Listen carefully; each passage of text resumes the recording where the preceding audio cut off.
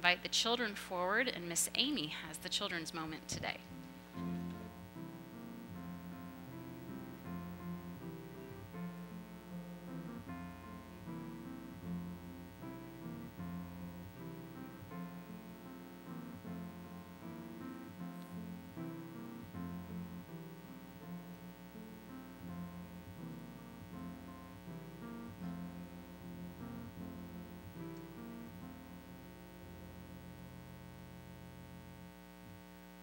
Good morning, Addie. Am I on? Oh, yes, I am.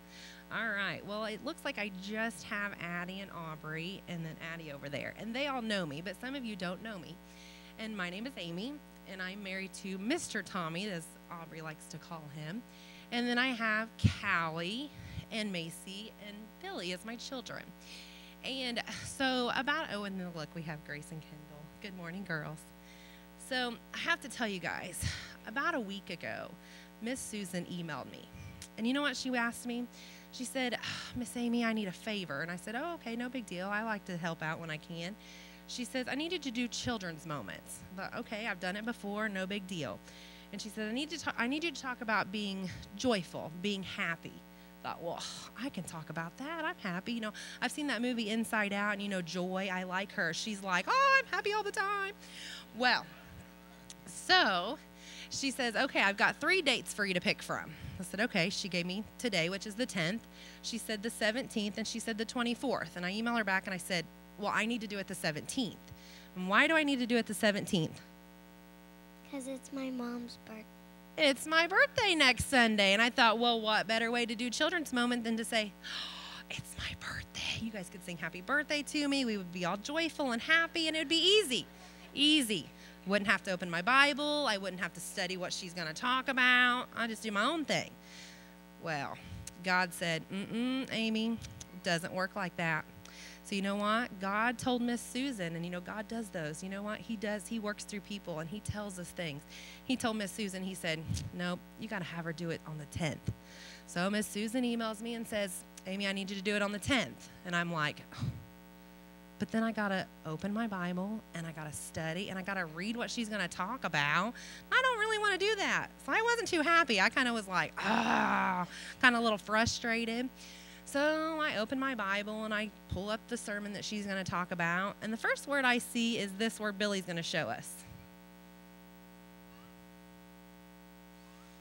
Ah, this word. Do you guys know what that says? You guys can read.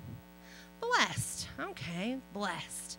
Well, the Bible says, and God wants us to feel blessed, and He wants us to feel really happy. Not just like, ooh, happy, like, oh, okay, I got an A plus on a test, happy. Like, happy, like Christmas morning, happy every single day when we get out of bed. Now, do we feel like that every day? No, we don't. But God wants us to feel like that. And I'm like, well, okay. So he wants me to feel blessed every single day when I get up. So I read some more of what Susan's going to talk about. And she and and in the Bible we talk Jesus does a sermon and he talks about these really cool things called the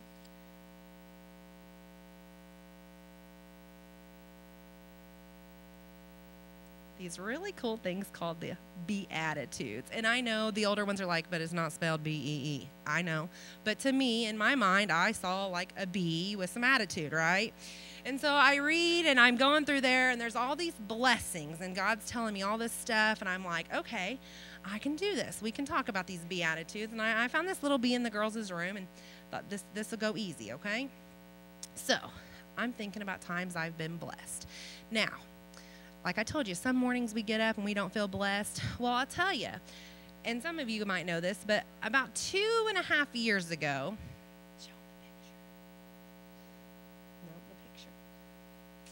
About two and a half years ago, this guy in this picture, see him right there?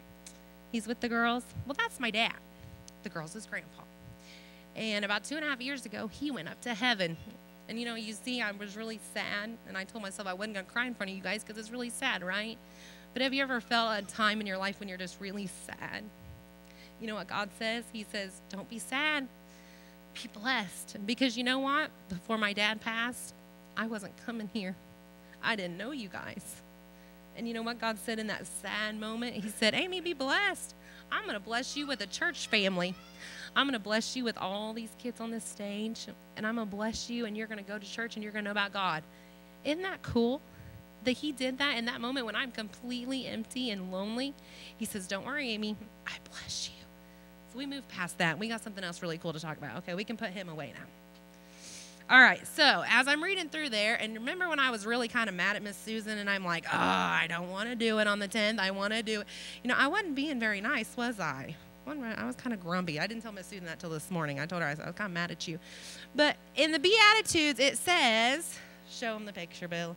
Have a be attitude, not a me attitude. Now, I'm telling you, I was having a me attitude. I was saying, I'm mad. I don't want to think about anybody else but myself because it's my birthday and I wanted to do it on my birthday. God said, No, Amy, mm-mm. You got to do it on somebody else's birthday. So yesterday was somebody else's birthday. And so God said, No, Amy, you can't have a me attitude. You got to have a be attitude, and you got to think of others, and you can't get mad, and you got to be patient. Now, that's really hard. You know, sometimes God has a plan for us, and we got to be patient, and it's got to be in His timing that we do things. So I'll tell you, as you get older, you know, they tell you to like set these goals for yourself, you know, go to college, find a husband, have some kids. Okay. So I did those things. I went to college, found a husband, Mr. Tommy, is like Aubrey likes to call him, and have kids. I didn't want to have one child because I was an only child, and oh, I didn't really like that. So we said we have two kids. We had Callie, and we had Macy. Now that's it. You know, there's one, two of us. We can go to the grocery store, one, two. We are responsible for one, two. God said, Oh, Amy, mm-mm-mm. Nope. Surprise. She is my God gift. Surprise. God said, Uh uh-uh, uh Amy, you got to have Billy. And you know what's crazy about Billy is, well, when I was pregnant with her, she was this crazy, like she kind of is now, you know, like was going to come out like hot mess hair all the time, wear mismatched shoes on the wrong feet, one her sisters, one herself, never clothes matching. You know, she just bought this dress for her birthday and we were going to wear it today. But while she was in my belly, have you know it, when I was, mm, we didn't really know if we were having a boy or girl or not. We said, couldn't pick out a name, couldn't decide on a name. We never could decide on names. But I said, you know what? She is like a crazy bee in my belly. And so, have you know it, she got her name by her initials first. And so, her initials started out being the crazy bee in my belly. And so, her name is Billy Elena Evans and B. And I just think that's really cool because through all of this and me grumbling at Miss Susan over there saying, but I want to do it on my birthday. God taught me to have that be attitude, and then I needed to share it with others and let her kind of have the spotlight moment. But through all of this, I know it's a lot to talk about. I just want you to know that God has a plan for you. And even though it may not be the plan you want, maybe you didn't make that basketball team, or maybe your brother just took the last piece of candy out of the candy bowl and you're really mad, and maybe you didn't get that toy you wanted when you went to the store but just remember, God's blessing you through everything, and it's in His time that things are going to happen. All right, we're going to pray, and then we're going to go over there and worship God, all right? Oh, yes. Oh, I forgot. Billy wanted us to show you the shirt she wore at her first birthday party. It's a bee. All right, let's go in attitude of prayer. Dear Only Father, I am so, so, so blessed. And Scripture tells us that in moments of our life, we just we need to feel your blessings. And Lord, you bless me. And just like this little moment here of me grumbling with Miss Susan about how I wanted it to be about me, you showed me through Scripture that it is not about me. It's about loving others. And Lord, I just want these children to know that God has a path for them. And you always promise you're one step ahead of us on that path. And you will guide us. May these children face that path with eyes in front and stay on your path, Lord, and you just always be with them as you promise. It's in your son's name we pray. Amen.